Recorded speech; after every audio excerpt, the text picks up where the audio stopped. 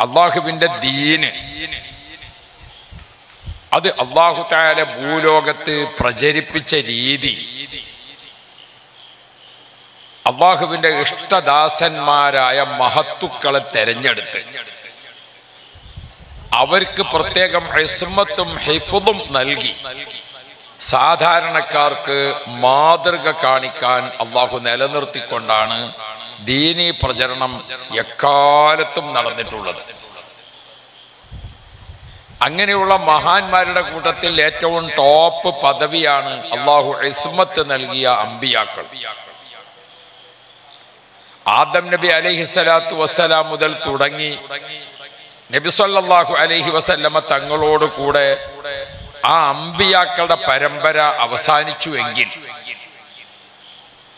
ഇനി ഖിയാമ നാൾ വരെ വരാൻ പോകുന്ന കാലത്ത്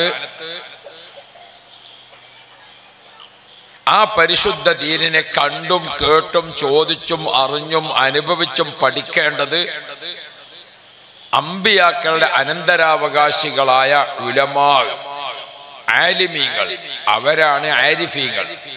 അവരാണ് ഔലിയാക്കൾ അവരാണ് ഓസിയങ്ങൾ അവരാണ് കുത്തുബീങ്ങൾ അവരാണ് അബുദാലിയങ്ങൾ അവരാണ് നുക്കബാഗ് അവരാണ് നുജബാൽ അഥവാ ആത്മീയ ലോകത്തെ വിവിധ പദവികൾ അലങ്കരിക്കുന്നവർ. നമ്മൾ village officer tahsildar R D O A D M collector ഇങ്ങനെ വിവിധ പദവിയാണ്. സാധാ police S I C I S D Y S P S P D I G I G വിവിധ പദവികളാണ്. ഇത് ആത്മീയ ലോകത്തും അള്ളാഹു താല വെച്ചിട്ടുണ്ട്. ആ പദവി അലങ്കരിക്കുന്ന ആളുകളാണ് നാം ആലിമീങ്ങളാൽ വളർത്തിയെടുത്ത് ഉണ്ടായി വരുന്ന ഔലിയാക്കൾ ഔസ്യങ്ങൾ കുത്തുബീങ്ങൾ ഇങ്ങനെ തുടങ്ങി ഒട്ടേറെ മഹാന്മാർ. അവരിലൂടെയാണ് ലോകത്തെ അള്ളാഹു താല ദീനിനെ നിലനിർത്തി പോന്നത്. ലോകത്തെ ഏത് രാഷ്ട്രത്തിൽ ഇസ്ലാമിക ചരിത്രമുണ്ടോ അവിടെയൊക്കെ യാത്ര ചെയ്യുമ്പോൾ നമുക്ക് ആ മഹാന്മാരുടെ സ്മാരകങ്ങൾ കാണാൻ പറ്റും. നമ്മുടെ കേരളത്തിൽ നമ്മൾ യാത്ര ചെയ്താൽ ഉള്ളാളത്തപ്പാപ്പയെ നമ്മൾ പറഞ്ഞല്ലോ സയ്യിദ് മദനി തങ്ങളുടെ ഉള്ളാൾ മക്കാമിൽ നിന്ന് തുടങ്ങി നമ്മൾ ഇങ്ങനെ കേരളത്തിലൂടെ യാത്ര ചെയ്ത് തിരുവനന്തപുരത്ത് വരെ എത്തുമ്പോൾ എത്ര മഹാന്മാരുടെ സ്മാരകങ്ങളാണ്. മഹാന്മാരുടെ സ്മാരകങ്ങളായ പള്ളികൾ മദ്രസകൾ കോളേജുകൾ സാന്ത്വന കേന്ദ്രങ്ങൾ മഹാന്മാരുടെ സ്മാരകങ്ങളായി ഒട്ടേറെ സേവന കാര്യങ്ങൾ അവരുടെ സ്മാരകങ്ങളായി അവരുടെ നിറഞ്ഞു നിൽക്കുന്ന മക്ബറകൾ. ആ മഹാന്മാരെ നമുക്ക് പരിശോധിച്ചു നോക്കിയാൽ നമുക്ക് അവരുടെ അത്ഭുതങ്ങൾ നമുക്ക് ബോധ്യപ്പെടും. ബഹുമാനപ്പെട്ട മടവൂർ ഷേഖുന അടുത്ത കാലത്ത് നമ്മെ വിട്ടുപിരിഞ്ഞ മഹാനാണ്. യാ ഷൈഖനാ യാ ഷൈഖ മടവൂരിൻ അതൈനാ ബാബക്കും റാജീന ഫൗസൻ കാമിലൻ യാ സയ്യിദി സിയം വലി ലാ ഇലാഹ إلا الله.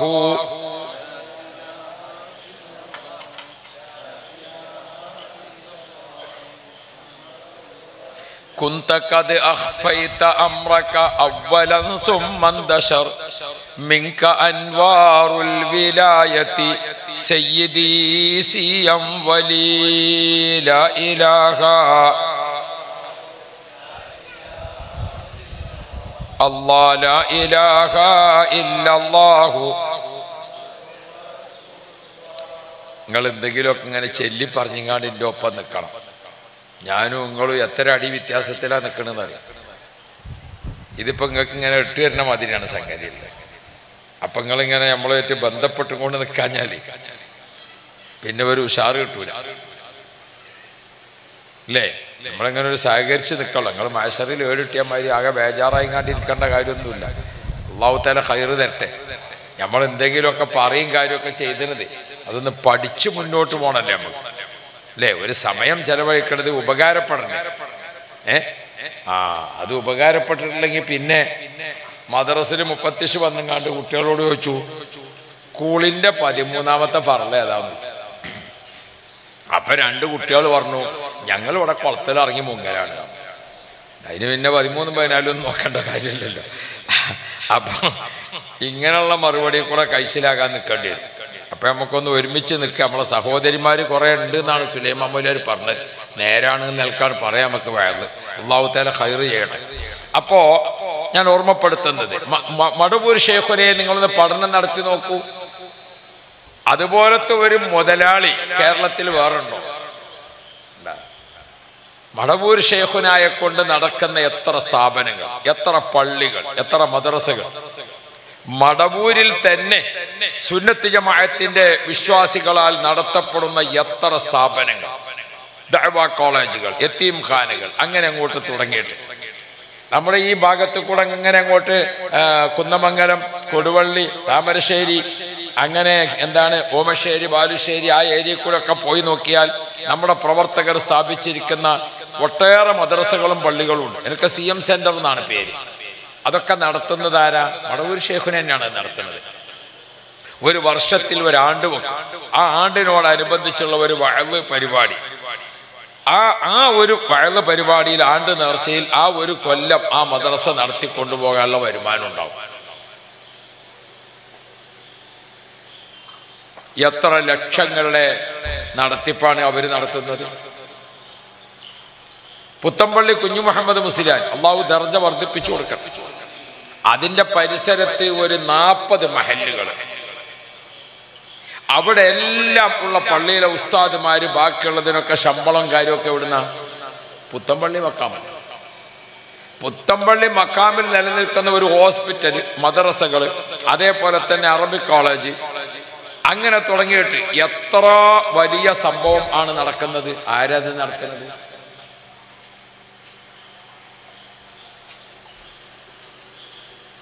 മഹാന്മാരായ ആളുകളെ അള്ളാഹു സുബാനുഭവത്താല അധികാരപ്പെടുത്തി.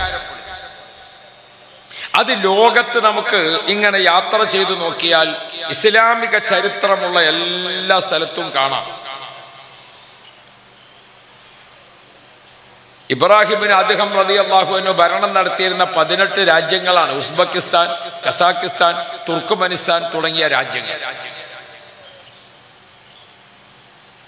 ഇടക്കാലത്ത് സോവിയറ്റ് റഷ്യ വികസിച്ചു വന്നപ്പോൾ ആ രാജ്യങ്ങളൊക്കെ സോവിയറ്റ് റഷ്യയുടെ ഭാഗമായി പിടിക്കപ്പെട്ടു.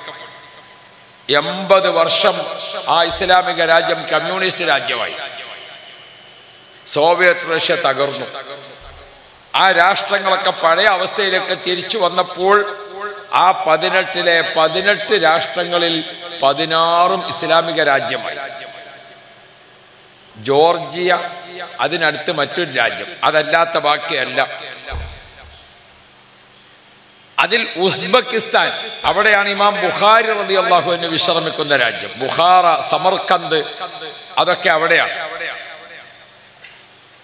നമ്മൾ ആ രാജ്യത്ത് എന്നിട്ട് ഇങ്ങനെ യാത്ര ചെയ്താൽ ഉസ്ബെക്കിസ്ഥാനിലൂടെ അങ്ങനെ യാത്ര ചെയ്തു പോയാൽ എത്ര മഹാന്മാരെയാണ് കാണാൻ സാധിക്കുന്നത്? യാ റബ്ബ്. ഇമാം ബുഖാരി റതി അള്ളാഹുവിനെ സിയാർത്ത് ചെയ്യുന്നതിന് വേണ്ടി യാത്ര ചെയ്യുമ്പോൾ ഇടയ്ക്ക് നമുക്കൊരു വലിയ മക്കാമ് കാണും. അത് ഉസമുബിൻ അബ്ബാസ് റതി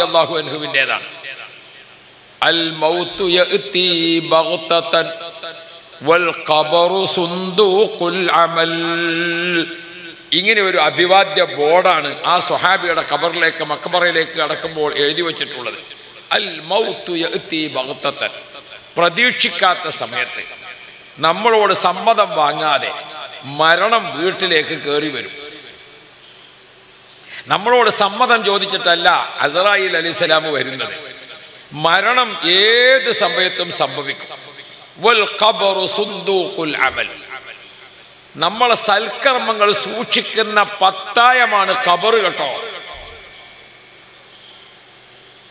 നമ്മളെ സൽക്കർമ്മങ്ങൾ സൂക്ഷിക്കാനുള്ള പത്തായമാണ് കബർ അതുകൊണ്ട് മുഅ്മിനുകളെ ഹയാത്ത് കാലത്ത് സമ്പാദിച്ചോ സമ്പാദിച്ചോ സമ്പാദിച്ചോ അത് കബറാകുന്ന പത്തായത്തിലേക്ക് ഉപകാരപ്പെടണം. അതാണ് ഉസമബിൻ അബ്ബാസ് റബി അള്ളാഹു എന്നുവിനെ മക്കാമിലേക്ക് കടക്കുമ്പോൾ എഴുതി വെച്ചിട്ടുള്ളത്. ഉസമബിൻ അബ്ബാസ് തങ്ങൾ എന്ന് പറഞ്ഞാൽ ഇബിൻ അബ്ബാസ് റബി അള്ളാഹു എന്നുവിന്റെ സഹോദരനാണ് നബിസ്വല്ലാസ്മ തങ്ങളുടെ കുടുംബ പരമ്പരയിൽപ്പെട്ട ആളാണ് അതോടൊപ്പം കുസമബിൻ അബ്ബാസ് തങ്ങൾ ഇങ്ങനെ നടന്നു പോകുമ്പോൾ ബാക്കിൽ നിന്ന് ഇങ്ങനെ നോക്കിയാൽ നബിതങ്ങളാണോ ആ പോകുന്നത് എന്ന് തോന്നിപ്പോകും. അത്രയധികം നബിതങ്ങളോട് സാമീപ്യമുള്ള സ്വാഭിയാണ് എല്ലാറ്റിനും പുറമെ അള്ളാഹുവിന്റെ റസൂൽ വഫാത്തായപ്പോൾ ആ ജനാസ കുളിപ്പിച്ച് മൂന്ന് ആളുകൾ അവസാനം നബിസ്വല്ലാസ്ലം തങ്ങളുടെ ജനാസ ഇങ്ങനെ കബർ ഷരീഫിലേക്ക് താഴ്ത്തി വെക്കുമ്പോൾ അതിന്റെ ഒരു ഭാഗത്ത് പിടിക്കാൻ ഭാഗ്യം ലഭിച്ചിരിക്കുന്ന മഹാനാണ് അബ്ബാസ് റളിയല്ലാഹു അൻഹു. ആ മഹാന്റെ മക്ബറ നിറഞ്ഞു നിൽക്കുന്ന കാഴ്ചയാണ്. നമ്മൾ അത്ഭുതപ്പെടും. മഹാന്മാരും അവരുടെ സ്മാരകങ്ങളും ലോകത്തെവിടെ അവിടെ നിന്ന് നമ്മൾ യാത്ര ചെയ്തിട്ട് ഇമാം ബുഖാരി റളിയല്ലാഹു അൻഹുവിന്റെ ആ മക്കാമ്പിലേക്ക് അങ്ങോട്ട് പോയി നോക്കിയാൽ ഏകദേശം നാൽപ്പത് ഏക്കർ വിസ്താരമുള്ള ഒരു പൂന്തോപ്പ്. അതാണ് ഇമാം ബുഖാരി തങ്ങൾ കിടക്കുന്ന സ്ഥലം. നമ്മുടെ നാട്ടിലെ ഫറൂഖരോ മറ്റോ ഒക്കെ പോയാൽ കാണാം വലിയ എന്ത് നമ്മളെ ഈ ഓട് ഓട് ഓട്ട് കമ്പനിന്റെ കോയിലില്ലേ എങ്ങനെ ഓട്ട് കമ്പനിന്റെ വലിയ അല്ലേ? എന്നാൽ ഇമാം ബുഖാരി റതി അള്ളാഹുവിന് വിശ്രമിക്കുന്ന അതിന്റെ ചുറ്റുഭാഗത്തെ മതിൽ നാല് ഭാഗത്ത് ഗേറ്റാണ്. ആ നാല് ഭാഗത്തെ ഗേറ്റും എന്തുമാത്രം തല ഉയർത്തി നിൽക്കുന്ന മുനാരങ്ങളാണ്. അള്ളാഹു റബ്ബി നാൽപ്പത് ഏക്കർ ഒരു പൂന്തോപ്പ്. ആ പൂന്തോപ്പിൽ നിൽക്കുന്നു ബഹുമാനപ്പെട്ട ഇമാം ബുഖാരി റതി അള്ളാഹു അന്നു ആ ബുഖാരി ഇമാം റതി അള്ളാഹു അൻഹുവിന്റെ മക്കാമിലേക്ക് നമ്മൾ ഇങ്ങനെ അങ്ങോട്ട് ചെല്ലുമ്പോൾ യാ റബ്ബ് നല്ലൊരു പൂന്തോപ്പ്. ആ പൂന്തോപ്പിലേക്ക് നമ്മളങ്ങോട്ട് ഗേറ്റ് കടന്ന് ചെന്നാൽ നല്ല ഒരു കെട്ടിടം. ആ കെട്ടിടത്തിന്റെ ആദ്യ ഭാഗത്തെങ്ങോട്ട് ചെല്ലുമ്പോൾ നമുക്ക് എല്ലാവർക്കുമുള്ള ബാത്റൂം സൗകര്യം. ബാത്റൂമിൽ നിന്ന് അടുത്ത റൂമിലേക്ക് അങ്ങോട്ട് കയറിയാൽ ഒതു എടുക്കാനുള്ള സൗകര്യം. ഒതു എടുത്തു കഴിഞ്ഞ് അടുത്ത റൂമിലേക്ക് അങ്ങോട്ട് കയറിയാൽ ഇവിടെ നിന്ന് ബാത്റൂമിൽ പോയി അപ്പുറത്തുനിന്ന് ഒതു ചെയ്ത് അടുത്ത സ്ഥലത്തേക്ക് അങ്ങോട്ട് കിടക്കുമ്പോൾ നല്ല അത്തർ സൂക്ഷിച്ചു വച്ചിരിക്കുന്ന റൂം. വിവിധ ഇനം അത്തറുകൾ. ഇവിടെ ബാത്റൂമിൽ പോയി അവിടെ നിന്ന് ഒതു എടുത്ത് അവിടെ നിന്ന് അത്തർ പുരട്ടിയിട്ട് അപ്പുറത്തേക്ക് അങ്ങോട്ട് കടന്നാൽ ഇമാം ബുഖാരി തങ്ങളുടെ പള്ളി. ആ പള്ളിയിൽ നിന്ന് രണ്ടരക്കാലത്ത് തഹയ്യത്ത് നിസ്കരിച്ചിട്ട് പുറത്തിറങ്ങിയാൽ ഇമാം ബുഖാരി തങ്ങളുടെ കബർ ഷരീഫാകുന്ന സ്മാരകം. അങ്ങനെ അങ്ങോട്ട് പോകാൻ പാടുള്ളൂ. ബാത്റൂമിൽ പോയി വൃത്തിയാക്കി ഒതു ചെയ്ത് അത്രയൊക്കെ പുരട്ടി അവിടുത്തെ പള്ളിയിൽ നിന്ന് രണ്ടരക്കാലത്ത് നിസ്കരിച്ച് എന്നിട്ടാണ് ഇമാ ബുഖാരി തങ്ങളുടെ അടുത്തേക്കാണ് പോവുക. യാ ബഹുമാനപ്പെട്ട ഇമാം ബുഖാരി റതി അള്ളാഹുവിനുവിനെ മക്ബറയിൽ നിന്ന് ഒരു തരം പ്രത്യേകമായ കസ്തൂരിയുടെ വാസന ആസ്വദിക്കുന്ന ആളുകൾക്ക് ഇപ്പോഴും ലഭിച്ചുകൊണ്ടിരിക്കുന്നു. മഹാന്മാരും അവരെ സ്മാരകങ്ങളും. അത് ദീനിന്റെ ഷിയാറുകളാണ്.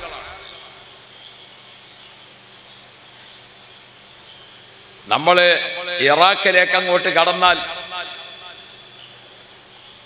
സുബഹാന ജല്ല ജലാലു. മഹാന്മാരും നിറഞ്ഞു നിൽക്കുന്ന ഒരു രാജ്യം ഇറാഖ് പോലെ പിന്നെ ഏതാണുള്ളത്? അതുപോലെ മറ്റൊരു രാജ്യം പിന്നെ ഉള്ളത് ഈജിപ്ത് മാത്രമാണ്. ചരിത്രത്തിൽ നിറഞ്ഞു നിൽക്കുന്നത്. ഇമാം ഹത്തീബ് തിബിരിസി റളി അള്ളാഹുവിന്റെ താരിഖ് ബഗദാദ് നാൽപ്പത് വാള്യമാണ്. ഓരോ വാള്യവും ആയിരം പേജിലധികമുണ്ട്. എന്നിട്ടും ബഗദാദിലെ ഔലിയാക്കളെ മാത്രം ചരിത്രം എഴുതി തീർന്നിട്ടില്ല.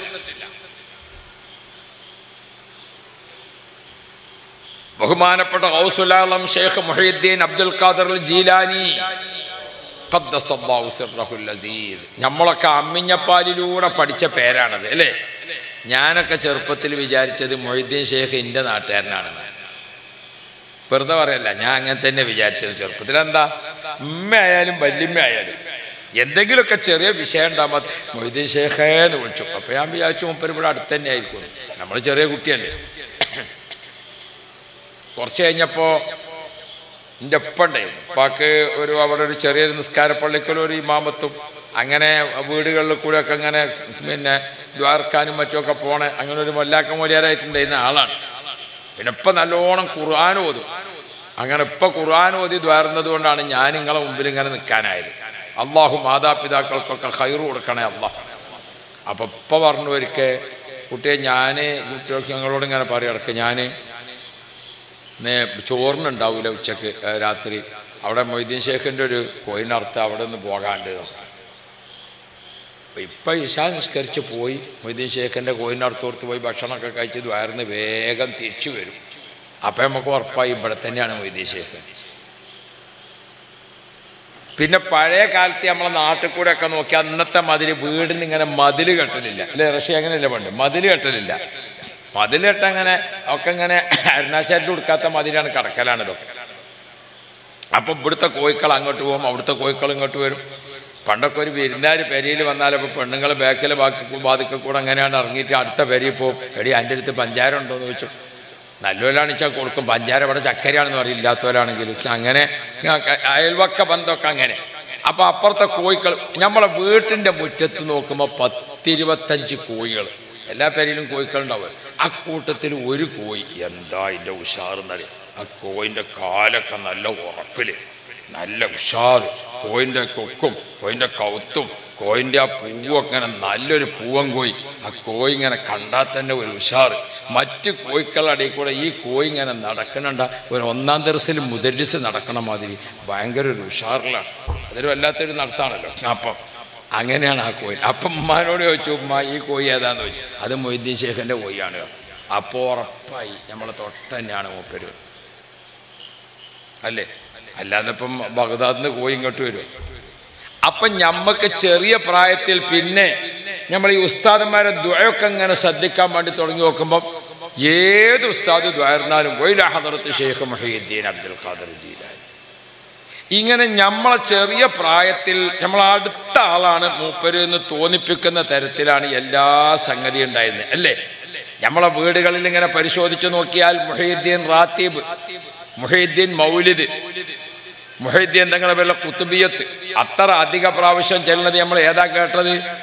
യാ عبد القادر جيلاني غوث ജീലാനി محي الدين عبد القادر جيلاني قطب ഖുതുബുൽ محي الدين عبد القادر جيلاني يا رب يا رب നമ്മൾ കുത്തുബിയത്ത് ഇങ്ങനെ ചെല്ലുമ്പോൾ ഉസ്താദന്മാർ അന്നെന്താകും? ഒരു നാല് സ്റ്റെപ്പ് അല്ലേ?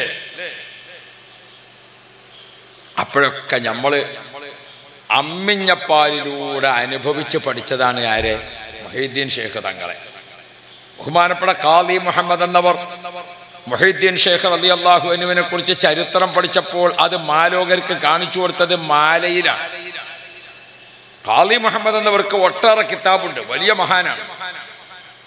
മൊഹീദ്ദീൻ ഷേഖ് തങ്ങളുടെ കിതാബ് മുപ്പര് ചരിത്രം ശേഖരിച്ചിട്ട് അത് കവിതയാക്കി അതാണ് മാല. മലയാളത്തിന് ആ ഈ ഊ എന്ന അക്ഷരമാല തുഞ്ചനെത്ത തുഞ്ചത്തെഴുത്തച്ഛൻ കണ്ടെത്തുന്നതിന് അമ്പത് കൊല്ലം മുമ്പ് അറബി മലയാളത്തിൽ മൊഹീദ്യമാല ഉണ്ടായിട്ടുണ്ട് എന്നാണ് ചരിത്രം. അത് വായിക്കണമെങ്കിൽ ഇവിടെ തൊട്ടടുത്ത് വൈദ്യാരി സ്മാരകത്തിൽ പോയാൽ മതി.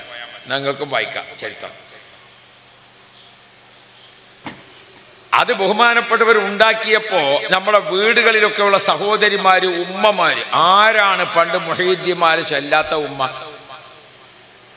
ഏത് വീട്ടിലാണ് മൊഹീദ്ദിമാര് ചെല്ലാത്തത്? ആ മൊഹീദ്ദിമാലയുടെ അവസാനം എത്തുമ്പോൾ ഇത് ഇരവാകുന്നു. അള്ളാഹുവിനുള്ള ദുഴയാണ് എന്നെയും എന്നുടെ ഉമ്മയും ബാബയും അറിവൈ പഠിപ്പിച്ച ഉസ്താദുമാരെയും എന്നെയും മറ്റുള്ള മുഅ്മിൻ എല്ലാരെയും എങ്കൽ നബിന്റെ ഷഫാഅത്തിൽ കൂട്ടല്ലോ. എന്തൊരു രസകരമായിട്ടാണ് ഉമ്മ ഇങ്ങനെ അത് ചെല്ലിയത് അതിന്റെ ഒരു സന്തോഷം. യാ. ആ ഷേഖ് മുഹീദ്ദീൻ അബ്ദുൽ ഖാദർ ജീലാനി റളിയല്ലാഹു അൻഹു ഹിജറ നാനൂറ്റി എഴുപത് റമലാൻ ഒന്നിന് ബഹുമാനപ്പെട്ടവർ ജനിച്ചിരിക്കുന്നത് എവിടെയാണ്? നമ്മൾ ഇത്തരം അടുത്ത് ബന്ധമുണ്ടെങ്കിലും ബഹുമാനപ്പെട്ടവർ എവിടെയാണ് ജനനം? ഇറാഖിന്റെയും ഇറാനിന്റെയും മധ്യേ. എന്ന് പറയുമ്പോൾ ഇറാനിന്റെ അവസാനം ഇറാഖിന്റെ തുടക്കം എന്ന് പറയാം. അവിടെയാണ് തൊബിരിസ്ഥാൻ എന്ന പട്ടണം. തൊബരിസ്ഥാൻ പട്ടണത്തിലെ ഒരു പഞ്ചായത്താണ് കൈലാൻ. കൈലാൻ പഞ്ചായത്തിലെ ഒരു ഗ്രാമം അല്ലെങ്കിൽ ഒരു മഹൽ അതാണ് ജീലാൻ. ജീലാനി കൈലാനി എന്ന് പറയുന്നത് അങ്ങനെയാണ്. മറ്റഭിപ്രായങ്ങളും ഉണ്ട് ആ പ്രദേശത്തിന് ഒരു പ്രത്യേകതയുണ്ട്. മുഹീദ്ദീൻ ഷേഖ് റബി അള്ളാഹു എന്നുവിന്റെ ആ പ്രദേശം ഏകദേശം നമ്മുടെ കേരളം പോലെയാണ്. കേരളത്തിൽ നമ്മൾ കണ്ടിട്ടില്ലേ? മലകളും പർവതങ്ങളും മരങ്ങളും ചെടികളും അതുപോലെ തന്നെ പുഴകളും അതുപോലെ തന്നെ കിണറുകളും അതേപോലെ തന്നെ കൃഷികളും ഇതൊക്കെ നിറഞ്ഞ സ്ഥലമാണ് നമ്മുടെ കേരളം. ഇതേപോലത്തെ ഒരു ഏരിയ ആണ് മൊഹീദ്ദീൻ ഷേഖ് തങ്ങൾ ജനിച്ച ഏരിയ. നെൽകൃഷി അടക്കം ഉണ്ടായിരുന്ന സ്ഥലമാണ് ഈ ജീലാനും കൈലാനും ഒക്കെ. മൊഹീദ്ദീൻ ഷേഖ് തങ്ങളൊക്കെ ചെറുപ്പത്തിൽ അരിഭക്ഷണമായിരിക്കും കഴിച്ചിട്ടുണ്ടാവുക എന്നാണ് ചരിത്രത്തിൽ നിന്ന് മനസ്സിലാക്കാൻ സാധിക്കുന്നത്. ചില സ്ഥലത്ത് ഗോതമ്പ് ഭക്ഷണം ചില സ്ഥലത്ത് ചോളം ഭക്ഷണം വിവിധ ഭക്ഷണങ്ങളല്ലേ? അപ്പോ അരി ഭക്ഷണമായിരിക്കും മൊഹീദ്ദീൻ ഷേഖ് തങ്ങളൊക്കെ കഴിച്ചിട്ടുണ്ടാവുക എന്ന് മനസ്സിലാക്കാൻ പറ്റും. നല്ല മഴ കിട്ടുന്ന ഏരിയയാണ് മൊഹീദ്ദീൻ ഷേഖ് തങ്ങൾ ജനിച്ച നാട്. അതാണ് ഒരു പ്രാവശ്യം ആ പ്രദേശത്ത് മഴയില്ലാതെ വിഷമിച്ചു. കൃഷിയൊക്കെ ഉണങ്ങിപ്പോയി. വല്ലാതെ കഷ്ടപ്പാടിലേക്ക് എത്തി ആളുകൾ വളരെയധികം പട്ടിണിയിലേക്ക് പോകുന്നുവെന്ന് കണ്ടപ്പോൾ ആ അയൽവാസികളായ സഹോദരിമാര് ഉമ്മമാരൊക്കെ സംഘടിച്ചു. അവരെവിടെ വന്നു? മൊഹീദ്ദീൻ ഷേഖ് അലി അള്ളാഹുവിനുവിന്റെ വീട്ടിൽ വന്നു. അവിടെ ആരാണുള്ളത്? രണ്ട് ഉമ്മമാര്.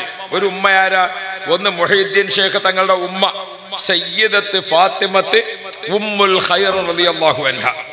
മൊഹീദ്ദീൻ ഷേഖ് അലി അള്ളാഹു എന്നിന്റെ ഉമ്മയാണ് ഒരു ഉമ്മ അവിടെ ഉള്ളത്. ആ ഉമ്മ വലിയ അത്ഭുതമുള്ള ഉമ്മയാണ്.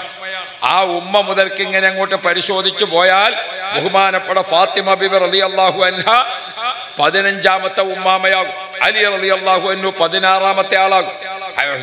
ബഹുമാനപ്പെട്ട റസൂൽ സാഹിസമ തങ്ങളിലേക്ക് പതിനേഴാമത്തെ പരമ്പരയിൽ വരും. മൊഹീദ്ദീൻ ഷേഖ് തങ്ങളുടെ വാപ്പ വഴിക്ക് പരിശോധിച്ചു നോക്കിയാൽ പതിനാല് പതിനഞ്ചാമത്തെ പരമ്പര വരും.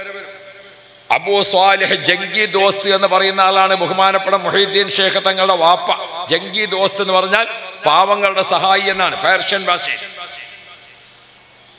അന്തൽ ഹുസൈനിയവൽ ഹസനിയ കുന്തമ അബം വ ഉമ്മൻ ഷരീഫൈനി ഖദ് തമ അഖിലുബൈത്ത് പരമ്പരയിൽ ഹസനി ഹുസൈൻ റബി അള്ളാഹുവിനിലേക്ക് എത്തുന്നവർക്ക് ഹുസൈനി ഹസൻ റബി അള്ളാഹുവിനൊക്കെ മുട്ടുന്നവർക്ക് ഹസനി. ഈ രണ്ട് പരമ്പരയും ചേർന്നതാണ് മൊഹീദ്ദീൻ ഷേഖ് തങ്ങളുടെ അപ്പൊ ആ വീട്ടിൽ അന്ന് താമസിക്കുന്നത് ആരാ? ഒന്ന് മൊഹീദ്ദീൻ ഷേഖ് തങ്ങളുടെ ഉമ്മ. സയ്യിദത്ത് ഫാത്തിമത്ത് ഉമ്മുൽ ഖൈർ റളിയല്ലാഹു അൻഹ. അത്ഭുതമുള്ള സഹോദരിയാണ്. രണ്ടാമത്തത് ആ വീട്ടിലുള്ളതാരാ മൊഹിദ്ദീൻ ഷേഖ് തങ്ങളുടെ വാപ്പാന്റെ പെങ്ങൾ നമ്മളെന്താ വാപ്പാന്റെ പെങ്ങളെ വിളിക്കാം? അമ്മായി. അപ്പ അമ്മായി. അല്ലേ? അപ്പ അമ്മായി. ഈ രണ്ട് സഹോദരിമാർ അവരോട് അയൽവാസികളൊക്കെ ചെന്നിട്ട് പറഞ്ഞു ഉമ്മമാരെ ഇനി എന്തു ചെയ്യും? നമ്മളെ കൃഷി ഉണങ്ങിപ്പോയി. നമ്മളെ കിണറ്റിലൊക്കെ വെള്ളം പറ്റിപ്പോയി നമ്മുടെ നാടാകെ ഉണങ്ങി നിൽക്കുകയാണ്. ഈ അവസ്ഥ ഇനിയും തുടർന്നാൽ നമ്മുടെ നാട് തന്നെ ഇല്ലാതാകും. പക്ഷികളൊക്കെ ജറക് കരിഞ്ഞു വീണുപോകും. ഗർഭിണികൾ പ്രസവിച്ചാൽ ചോര പൈതലുകൾ മരിച്ചുപോകും. അങ്ങനത്തെ ചൂട് അനുഭവിക്കുകയാണ് മഴയില്ലാതെ വിഷമിക്കുകയല്ലേ? ആളുകൾ സങ്കടപ്പെട്ടപ്പോൾ മൊഹീദ്ദീൻ ഷേഖ് റതി അള്ളാഹു അനുവിന്റെ അമ്മായി ഒതുവെടുത്തു ഒരു ചൂര് എടുത്തിട്ട് നമ്മുടെ ഭാഷയിൽ മുറ്റൊക്കെ അടിച്ച് വൃത്തിയാക്കി. നല്ല വൃത്തിയുള്ള സ്ഥലത്ത് ഒതുവോട് കൂടെ നിന്നിട്ട് ആ ആളുകളെ സാക്ഷി നിർത്തിക്കൊണ്ട് ആ സഹോദരിമാരെ മുഴുവനും സാക്ഷി നിർത്തിക്കൊണ്ട് അള്ളാഹുവിലേക്ക് കൈ ഉയർത്തിക്കൊണ്ട് ദുആ ചെയ്തു. അള്ളാ ഈ കാണുന്ന ജനങ്ങൾ മുഴുവനും മഴയില്ലാതെ ദാഹിച്ച് വിഷമിച്ച് വന്നിരിക്കുകയാണല്ലോ. പടച്ചവനെ നിന്റെ റഹ്മത്തിന്റെ മഴയിൽ നിന്ന് ഞങ്ങളാരും ആശ മുറിയുന്നില്ല ഞങ്ങൾക്ക് മഴ തരണേ അല്ലാ. ആ ഉമ്മമാരങ്ങോട്ട് ദുആ ചെയ്തു. മുഹീദ്ദീൻ ഷേഖ് തങ്ങളുടെ അമ്മായി ആയിഷ ബീബി മുഹീദ്ദീൻ ഷേഖ് തങ്ങളുടെ ഉമ്മ ഫാത്തിമ എന്നവർ അവരങ്ങ് അള്ളാഹുവിനോട് ദുആ ചെയ്തു. ആ ദുആ ഇങ്ങനെ നടന്നുകൊണ്ടിരിക്കുമ്പോൾ കാർമേഘം ഇങ്ങനെ വന്നു. അൽഹംദുലില്ലാ. പടപടാ. മഴ പെയ്തു തുടങ്ങി. ആളുകൾക്ക് അത്രയധികം ഈമാനികമായ സാന്നിധ്യം ഉറപ്പുവരുത്തിയിരിക്കുന്ന ഉമ്മമാരാണ് മൊഹീദ്ദീൻ ഷേഖ് തങ്ങളുടെ ആ വീട്ടിൽ താമസിക്കുന്നവർ. അവിടെയാണ് ഉമ്മുൽ ഖൈർ അലി അള്ളാഹു എന്നെ പ്രസവിക്കുന്നത്. മൊഹീദ്ദീൻ ഷേഖ് തങ്ങളെ പ്രസവിക്കുന്നത് എന്നൊരു അത്ഭുത. എന്തേ? അറുപതാമത്തെ വയസ്സിലാണ് പ്രസവിച്ചത്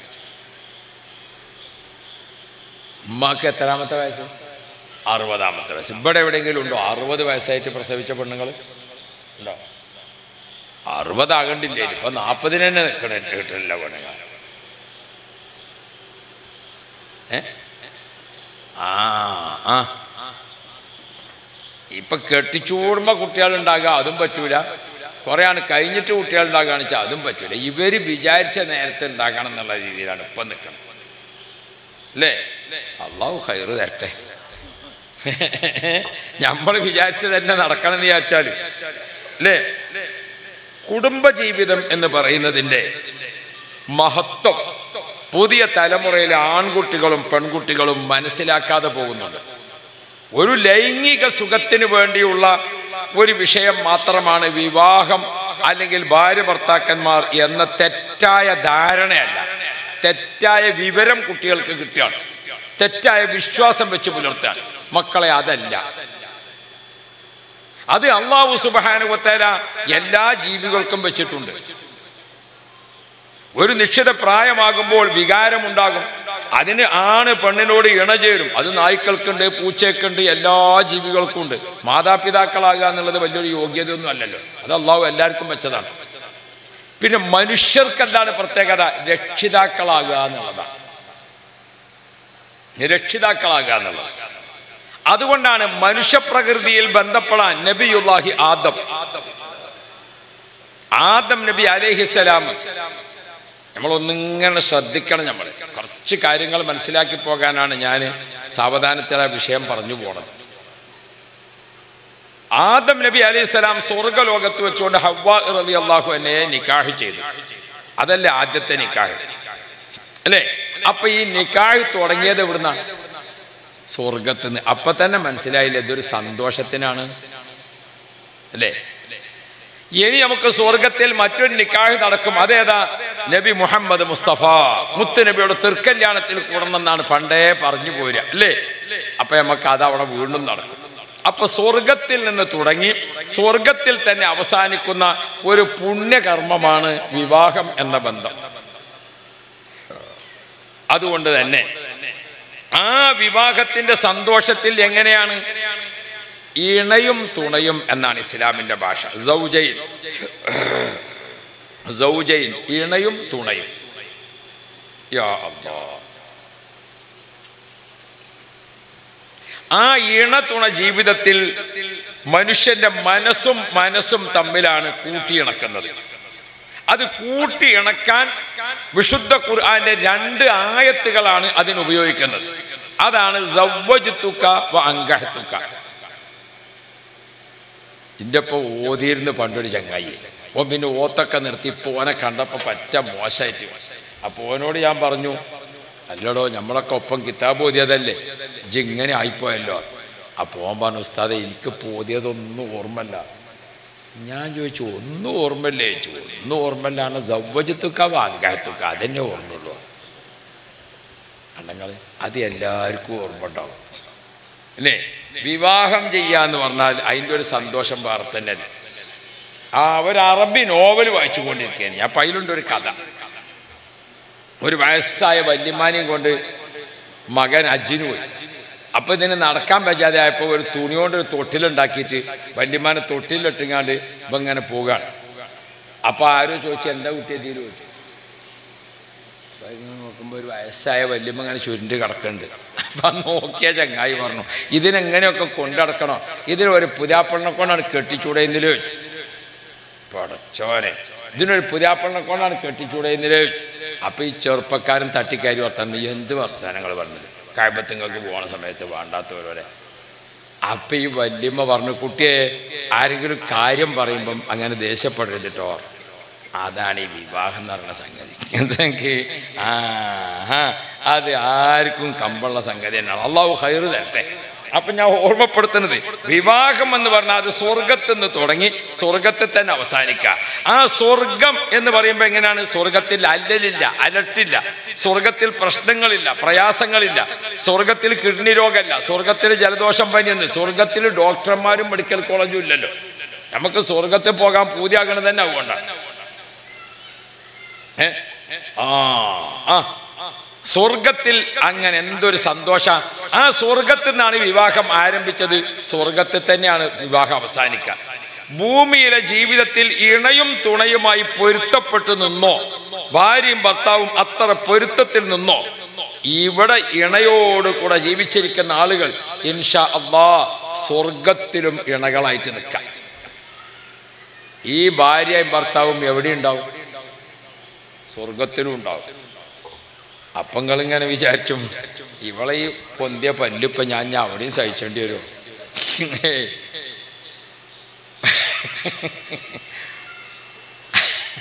അല്ല ഇതിപ്പോ പല്ലൊക്കെ പാടപ്പം പൊന്തിയതാണല്ലോ. പണ്ട് നമ്മൾ കാണാൻ പോയപ്പോൾ അങ്ങനെയൊന്നുമില്ല. മൂപ്പത്തിയാര് വിചാരിച്ചിട്ടുണ്ടാവും. അപ്പൊ ചിലപ്പോൾ ഉണ്ടല്ലോ നമ്മളെ. പെണ്ണുങ്ങൾ ഒരു ബൈക്ക് പോകുകയാണെന്ന് വെച്ചാൽ ആ തുണിങ്ങി പോയൊക്കെ നല്ല ഉഷാറാക്കിയിട്ട് നല്ല മട്ടത്തിൽ ഇറങ്ങാം. ആണുങ്ങളും ഒന്ന് ശ്രദ്ധിച്ചിട്ടുണ്ട് കുറച്ച് മുടിയൊക്കെ ഒന്ന് ചീകി വെച്ച് നല്ല മട്ടത്തിൽ പോകുക നല്ലേ ആ നാളെ മാപ്പിളയും പെണ്ണുങ്ങളും കൂടി ഇങ്ങനെ ഒപ്പം പോകുമ്പം ഓളോട് ചോദിച്ചു ഇതാരാന്ന് വെച്ചു അത് അത് ഇന്റെ മാപ്പിളയെന്ന് കണ്ടാൽ പറയാൻ തോന്നുന്നുണ്ട് അപ്പം അപ്പോൾ കുറച്ചൊക്കെ നമ്മളെന്താക്കാം ആണുങ്ങളും ഒന്ന് ശ്രദ്ധിച്ചിങ്ങാണ്ട് പോകണമെന്ന് പറയാൻ ഞാൻ ഇതിലെല്ലാം പറയാനോ എന്ന് ഞാൻ ഓർമ്മപ്പെടുത്തിയത്. അള്ളാഹു കയറ് തരട്ടെ. ആയിഷ ബീബി റതി അള്ളാഹു എന്നയുടെ അടുക്കലേക്ക് ഒരു ഉമ്മ വന്നു. കൂടെ ഒരു മോളുണ്ട് ആയിഷമ്മ ബീവിയോട് പറഞ്ഞു ഉമ്മ റസൂലുള്ളാഹിന്റെ ഭാര്യമാര് നമുക്ക് ആരാണ് ഉമ്മമാരാണ് മുഅ്മിനീന മിൻ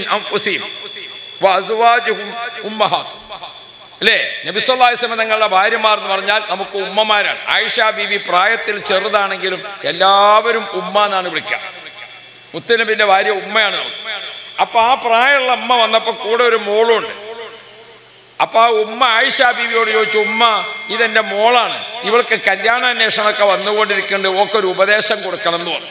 അപ്പൊ ആയിഷ ബീബി റബി അള്ളാഹു എന്നെ എന്താ ഉപദേശം കൊടുത്തത്? മോളെ നിനക്കൊരു ഭർത്താവിനെ കിട്ടുമ്പോൾ അവന്റെ കണ്ണും മൂക്കും നീ ശ്രദ്ധിക്കണം കേട്ടോ ഭർത്താവിന്റെ കണ്ണും മൂക്കും നീ ശ്രദ്ധിക്കണം കേട്ടോ എന്താണത്? ഇണ ജീവിതത്തിൽ രണ്ടു പേരും എന്ത് വേണം? മുഖത്ത് നോക്കിയിട്ട് കാര്യങ്ങൾ ബോധ്യപ്പെടണം. നമ്മുടെ ഭർത്താവിന്റെ മുഖത്ത് നോക്കുമ്പോൾ ഇപ്പൊ ഒരു ക്ഷീണാണോ? ഇപ്പൊ എന്തെങ്കിലും വിഷമുണ്ടോ അത് മുഖത്ത് നോക്കുമ്പോൾ മനസ്സിലാക്കാൻ കഴിയണം. ഇപ്പൊ നല്ല സന്തോഷാണോ? അത് മുഖത്ത് നോക്കുമ്പോൾ മനസ്സിലാക്കാൻ കഴിയണം. അല്ലാതെ ലഗേജ് നോക്കിയിട്ടല്ല മനസ്സിലാക്കേണ്ടത്. ഗൾഫിൽ നിന്നൊക്കെ കുട്ടികൾ വരുമ്പോൾ നോക്കണത് എവിടുക്കാണ് ലഗേജുമൊക്കാണ് അല്ലോ ഒരു മോര്യാരുന്നാൾ കുടുങ്ങിയില്ലേ? ഞങ്ങളെയും മൂല്യന്മാർ നാട്ടിൽ പോകുക പതിനഞ്ച് ദിവസം ഒരു മാസം കൂടുമ്പോഴാണ് കാസർഗോഡ് എന്നുള്ള മൂല്യന്മാരൊക്കെ അവിടെ വരും മൂല്യാർ സാധാരണ വരുമ്പോൾ വന്നു കയറിയ പെണ്ണുങ്ങളെ തന്നെ മെയിന്റ് ചെയ്യലൊന്നുമില്ല ഒരു ദിവസം മുപ്പത് വലിയൊരു ബാഗ് വെച്ചവർ അപ്പം എന്താ ഈ ബാഗ് വലിയത് കണ്ടപ്പോൾ പെണ്ണുങ്ങൾ ഗേറ്റിങ്ങൊക്കെയാണ് ചെന്ന് സ്വീകരിച്ചലും മറ്റുമൊക്കെ. ആ അങ്ങനെ ഈ ബാഗൊക്കെ ആയിട്ട് സിറ്റ് ഔട്ടൊക്കെ കയറിയപ്പോൾ തന്നെ ഓൾ ചോദിച്ചു നിങ്ങൾക്ക് ചൂടുള്ളതാ തണുത്തതാ വേണ്ടിയെന്ന് വെച്ചാൽ അതൊക്കെ ആദ്യം ചോദിച്ചാണ് മനസ്സിലായ? അള്ളാഹു റബ്ബി.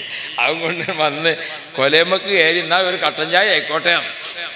ഓൾ കട്ടൻ ചായ ഉണ്ടാക്കാൻ വേണ്ടി പോയി. മൂപ്പര് ഞാൻ ഒന്ന് ബാത്റൂമിൽ പോട്ടെ എന്ന് അതിനും പോയി. കട്ടൻ ചായക്ക് വെള്ളം അവിടെ അടുപ്പത്ത് വെച്ചപ്പോഴും പെണ്ണുങ്ങൾ ഇങ്ങനെ ഈ ബാഗിൽ എന്താണാകുമെന്ന് അറിയായിട്ട് ഇങ്ങനെ. മൂപ്പരാണ് ബാത്റൂമിൽ പോയപ്പോൾ ഓൾ വന്നിട്ട് ഇതിന്റെ ചെയിനൊന്ന് വലിച്ചു നോക്കി. നോക്കുമ്പോൾ എന്താ നിങ്ങൾ പള്ളിക്കന്ന് പിരിച്ചു വിട്ടിട്ട് പഴയ പുതപ്പും തലക്കണയൊക്കെയാണ്. അതാ പറഞ്ഞത്. ലഗേജ് നോക്കിയിട്ടല്ല തീരുമാനിച്ചത്. ഭർത്താവിന്റെ കണ്ണും മൂക്കും ശ്രദ്ധിക്കണം എന്ന്. ആ ആ മുഖത്ത് നോക്കിയിട്ട് അത് വീട്ടിലേക്ക് കയറി വരുന്ന ഭർത്താക്കന്മാരും അങ്ങനെ തന്നെയാണ്. നമ്മളെ വീട്ടിലേക്ക് നമ്മൾ കയറി വരുമ്പോൾ പെണ്ണുങ്ങളെ മുഖം അത്ര കുണമില്ലാതെ നിൽക്കണുണ്ടെങ്കിൽ ഒന്ന് നോക്കണം. എന്താ ഇപ്പോൾ ഇവിടെ? ചിലപ്പോൾ ഏറ്റവും പ്രിയപ്പെട്ട പ്ലേറ്റ് പൊട്ടിയതേക്കാരം. ആ ചിലപ്പോൾ കറി ഇങ്ങോട്ട് കാലുമൊക്കെ മറിഞ്ഞങ്ങാണ്ട് പൊള്ളിയതേക്കാരം ചിലപ്പോൾ പറഞ്ഞത് കേൾക്കാതെ കുട്ടികൾ കുലുമാലുണ്ടാക്കിയതേക്കാരം അപ്പൊ പെണ്ണുങ്ങൾക്ക് വീട്ടിന്റെ ഒത്ത് നല്ല ബുദ്ധിമുട്ടുണ്ട് ചിലപ്പോൾ അപ്പൊ നമ്മളുടെ കയറി വന്നങ്ങാണ്ട് പെണ്ണുങ്ങളോട് അനക്കെന്തേനും ഇവിടെ പണി? എന്നാ പിന്നെ ആ പണി നിങ്ങളൊന്ന് എടുത്തു നോക്കാണി ഒരു ദിവസം. എന്നാ അറിയാലോ എന്തേലും പണി? കജ്ജോ പെണ്ണുങ്ങൾക്ക് എന്തേലും പണിയെന്ന് വെച്ച് തട്ടിക്കയറുന്ന ചില ആണുങ്ങളുണ്ട്. ഞാൻ പറഞ്ഞ പോലെ പണി എന്താ ഇപ്പം നമ്മൾ വറക് കത്തിച്ചിന് അടുപ്പ് കുറവാണ് അല്ലേ? ഒക്കെ ഗ്യാസിന്റെ അടുപ്പല്ലേ? ആ എന്റെ മകൻ കല്യാണം കഴിച്ചു കൊണ്ടുവന്നിട്ട് രണ്ടാമത്തെ ചങ്ങായി കല്യാണം കഴിച്ചു കൊണ്ടുവന്ന രണ്ടാമത്തെ മോൻ. അപ്പം അവിടുന്ന് ഒരു പറഞ്ഞു ഞങ്ങളാണ് വരുന്നുണ്ട്. എന്തിപ്പോൾ ഇത്ര അർജന്റ് ചോദിച്ചു? പെണ്ണുങ്ങൾ അടുപ്പ് കാണാൻ വരികയാണ്. നിങ്ങൾ പുറപ്പെട്ടോ? ചോദിച്ചാൽ എന്തേ? ചോദിച്ചു. പുറപ്പെട്ടിട്ടില്ലെങ്കിൽ ഇവിടുത്തെ അടുപ്പ് ഞാനാണ് കൊടുത്തേക്കാം. രണ്ട് ദിവസം അവിടെ വെച്ച് കണ്ടിട്ടുണ്ട് കൊടുത്തയച്ചാൽ മതിയാ. ഇനിയിപ്പോൾ കൊണ്ടുവന്നിട്ടില്ലെങ്കിലും മടിയില്ല. ഇതൊരു അടുപ്പ് കാണാൻ പറ്റില്ലുണ്ടല്ലോ ഇപ്പോൾ ആ ഇപ്പം ഗ്യാസ് അടുപ്പിൽ ഒരേ സമയത്ത് മൂന്നെണ്ണം തിളക്കും. ഒരു പാത്രത്തിൽ ചായന്റെ വെള്ളം കുളു കുളുവും തിളക്കുന്നുണ്ട്. അപ്പുറത്ത് കറി വെച്ചിങ്ങാണ്ട് അതും കുളുകുളുവും തിളക്കുന്നുണ്ട്. അപ്പുറത്തെ പാത്രത്തെ പാലാണ്. അത് തിളക്കണ വിവരം അറിയില്ല. നിങ്ങൾ പോയി നോക്കിക്കണം അടുത്തേക്ക് ആ. എന്താ പാൽ? പാലിൽ പത്ത് ശതമാനം വെള്ളം തൊണ്ണൂറ് ശതമാനം അന്നജമാണ് അപ്പൊ തിളച്ചാ കുളുകുളു എന്ന് പറയാം ഒന്നായിട്ടിന് പുറത്തു ചാടുമ്പോഴേ അറിയുള്ളൂ. അപ്പൊ ഈ പാൽ തിളപ്പിക്കണോടത്ത് ഉമ്മ കണ്ടിട്ടില്ലെങ്കിൽ അവിടെ തന്നെ നിൽക്കും ഒരു കയ്യിലുകൊണ്ട് ഇങ്ങനെ ഇളക്കിയിട്ട് ഇത് തിളക്കണത് അറിയാൻ. അപ്പൊ ഈ പെണ്ണുങ്ങൾ ഇത് മൂന്നും കൂടി അടുപ്പത്ത് വെച്ചിങ്ങാണ്ട് തിളച്ചുകൊണ്ട് ഇങ്ങനെ വരുന്ന സമയമായിക്കണം അപ്പോഴാണ് തൊട്ടിന്ന് കുട്ടി നിർവഹിച്ചത് അപ്പൊ തന്നെയാണ് പുറത്തൊരാൾ വന്ന് ബെല്ലടിച്ചത്. ഏതപ്പൊ ബെല്ലടിച്ചോടത്തേക്ക് പോകുക കുട്ടിനെ എടുക്കുക ഈ അടുപ്പത്ത് തന്നെ നിൽക്കുക എന്നിങ്ങനെ ആലോചിച്ചുകൊണ്ട് നിൽക്കുമ്പോഴാണ് മൊബൈൽ ഫോണിൽ ഒരു ബെല്ലടിച്ചത്. ഇത് നിങ്ങളാണെങ്കിൽ ഞാൻ ഏതാ ആദ്യം ചെയ്യാമെന്ന് ആലോചിച്ച് നോക്കാൻ. നിങ്ങൾ എന്താ പെണ്ണുങ്ങൾക്ക് പണിയെന്ന് ചോദിച്ചല്ലോ പണിയൊന്ന് കണ്ടു പണിയുണ്ടോ അപ്പൊ എല്ലാവർക്കും ഉണ്ട് പണി. ആണുങ്ങൾക്ക് ആണുങ്ങൾക്കനുസരിച്ചുള്ള ബുദ്ധിമുട്ടും സന്തോഷമൊക്കെ അതുണ്ട്. പെണ്ണുങ്ങൾക്ക് പെണ്ണുങ്ങൾക്കനുസരിച്ചുള്ള ബുദ്ധിമുട്ടും സന്തോഷമുണ്ട് ഇത് പരസ്പരം പൊരുത്തപ്പെട്ടു പോകാൻ മുഖം നോക്കിയിട്ട് ഇപ്പൊ സന്തോഷാണ്. മുഖം നോക്കിയിട്ട് ഇപ്പൊ ദുഃഖാണ്. അല്ലേ? അത് മനസ്സിലാക്കി നീങ്ങാൻ പറ്റുക എന്നുള്ളതാണ് ഒരു ഇണ ജീവിതത്തിന്റെ ഏറ്റവും പ്രധാനം. അത് പരസ്പരം മനസ്സിലാക്കാതെ വർത്താനം പറയുമ്പോഴാണ് ഇതൊക്കെ കുൽമാരാകൽ ആ മൂപ്പരോട് കയറി വന്നപ്പോൾ പെണ്ണുങ്ങൾ അവിടെ ഇങ്ങനെ ഇരിക്കുക അജ്ജി ഇവിടെ ഇങ്ങനെ ഇരിക്കാന്ന് വെച്ചു. പിന്നെ ഞാൻ ചാടി കളിച്ചാന്ന് വെച്ചോളൂ. കഴിഞ്ഞല്ലോ അങ്ങനെ എന്ത് ചെയ്യും പിന്നെ? പല രീതിയിലുള്ള മനുഷ്യന് കച്ചവടക്കാരനെന്ന് വിചാരിച്ചത് കച്ചവടത്തിന്റെ പീടിയിൽ പോയി നോക്കിയാൽ നമുക്ക് തോന്നും ഇതൊക്കെ ബെന്റെ തന്നെയാണ്. എവിടെ? ഇയാളുടെ അതില ഒന്നും ഉണ്ടാവില്ല. പീഡന്റെ റൂം തന്നെ ഉണ്ടാവുള്ളൂ. ബാക്കിയൊക്കെ കമ്പനിന്റെ സാധനങ്ങളാണ് അല്ലേ? ഇതിനൊക്കെ എത്ര പണികളുണ്ട് ഓരോന്നിനും. അപ്പൊ നമ്മളിങ്ങനെ ആലോചിച്ച് നോക്കണം വിഷയങ്ങൾ പരിശോധിച്ച് നോക്കിയാൽ ഇണജീവിതം. ഇണജീവിതം. ഭാര്യ ഭർത്താവ് എന്നതല്ല ഇണയും തുണയും. ആ ഇണ തുണ ജീവിതത്തിൽ അഷറഫുൽ വറ മുഹമ്മദുർ റസൂലുള്ളാഹി. നബി കരീം സല്ലല്ലാഹു അലൈഹി വസല്ലമ തങ്ങളെ സൈനബാബി വിവാഹ സമയത്ത് ഖുർആൻ ഓർമ്മപ്പെടുത്തി ഫലം അവിടെ ഖുർആൻ ഉപയോഗിച്ചത് സവ്വജ ഇണയാക്കി തന്നു എന്നാണ്. അതേ സമയത്ത് ഷുഹൈബ് നബി അലി ഇസ്ലാം തന്റെ മകളെ മൂസാ നബി അലി ഇസ്ലാമിനെ കൊണ്ട് കല്യാണം കഴിപ്പിക്കാൻ ഉദ്ദേശിച്ചപ്പോൾ ഇന്നി ഉരീദു അൻ ഇല്ലേ നിനക്ക് നിക്കായ് ചെയ്തു തരാൻ അതാണ് ഈ വിവാഹ ബന്ധത്തിന്റെ ഏറ്റവും മഹത്തരമായ രീതിയിൽ പഠിപ്പിക്കുന്നത് സവ്വജ്തുക നിനക്ക് ഞാൻ ഇണയാക്കി തന്നു കൂട്ടിച്ചേർത്തു തന്നു. അതിനെപ്പറ്റി ഖുർആന്റെ ഭാഷ മീസാക്കൻ സുഭദ്രമായ ഒരു ഉടമ്പടി. സുഭദ്രമായ ഒരു ഉടമ്പടി എന്നാണ്. ഒരു ദിവസത്തേക്കും നാല് ദിവസത്തേക്കുമല്ല. ആരോഗ്യമുള്ളപ്പോഴും ഇല്ലാത്തപ്പോഴും എല്ലാ സമയത്തും അവർ ഭാര്യ ഭർത്താക്കൾ നന്നായിട്ട് ഭർത്താവിന്റെ സ്വർഗം ഭാര്യയാണ്. ഭാര്യയുടെ സ്വർഗം ഭർത്താവാണ്. അവർ രണ്ടുപേരുടെയും സ്വർഗം രണ്ടാളെ മാതാപിതാക്കളുമാണ്. ആ ജീവിതത്തിൽ നല്ല രൂപത്തിൽ അങ്ങനെ ജീവിച്ചിട്ടുണ്ടോ? അവർ ആഹ്റത്തിലും സ്വർഗത്തിലും ഇണകളായിരിക്കും. ഹും ഫീ ളിലാലിൻ അലൽ ലഹും വലഹും മാ യദ്ദഊൻ. സലാമുൻ മിർ റഹീം. ദിവസം ഓതലില്ലേ നമ്മൾ യാസീൻ? യാസീൻ സൂറത്തിൽ ഓർമ്മപ്പെടുത്തുന്നുണ്ട്. നല്ല സന്തോഷമുള്ള ഇണജീവിതമുണ്ട്. ഹും വഅസ്വാജുഹും ആ മുഅ്മിനീങ്ങളും അവരെ ഭാര്യ ഭർത്താക്കന്മാർ. അവർ ഇണകളായിട്ട് സ്വർഗത്തിൽ ഒരുമിച്ച് കൂടും. എങ്ങനെ? അള്ളാ സ്വർഗത്തിൽ പോകാൻ അള്ളാഹു ഭാഗ്യം തരട്ടെ. അള്ളാഹു നീ തൗഫിയൊക്കെ നൽകണേ അള്ളാ. സ്വർഗത്തിൽ നമ്മളൊരു സുമാറ് പറയാം. പെണ്ണുങ്ങൾക്കൊക്കെ ഒരു ഇരുപത്തഞ്ചിന്റെ അവിടെ അങ്ങനെ നിൽക്കും. ആണുങ്ങൾക്ക് അങ്ങനെ ഒരു ഇരുപത്തെട്ട് മുപ്പതും. ഞമ്മക്കൊരു മുപ്പത് വയസ്സും ഓക്കൊരു ഇരുപത്തഞ്ചുമായിട്ട് സ്വർഗത്തിൽ ഇങ്ങനെ കൂടിയ എന്തേക്കാരും എന്റെ ഒരു അല്ലാ അള്ളാഹു തോഫിക്കട്ടെ. എന്തെങ്കിലും ഓട്ടോറിക്ഷക്കാരനോട് ചോദിച്ചു പോകല്ലേ? ചോദിച്ചു പോകണമെങ്കിൽ പോകാം. എന്ന മാതിരി നിങ്ങൾ ആമീൻ കേട്ടാൽ അങ്ങനെയാണ് ഇപ്പം മനസ്സിലാകുക ഏ?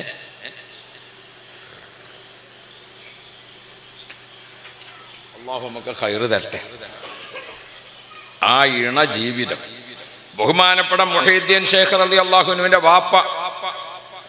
അവിടുത്തെ ഉമ്മയുമായുള്ള വിവാഹ ബന്ധത്തിൽ ജനിച്ച അറുപതാമത്തെ വയസ്സിലാണ് ഉമ്മുൽ ഖൈർ ബീവി പ്രസവിക്കുന്നത്.